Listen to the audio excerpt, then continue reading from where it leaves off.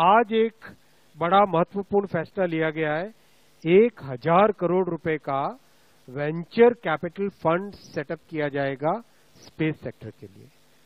The union cabinet has today approved setting up venture capital fund with a corpus of 1000 crore rupees for promoting startups in the space sector.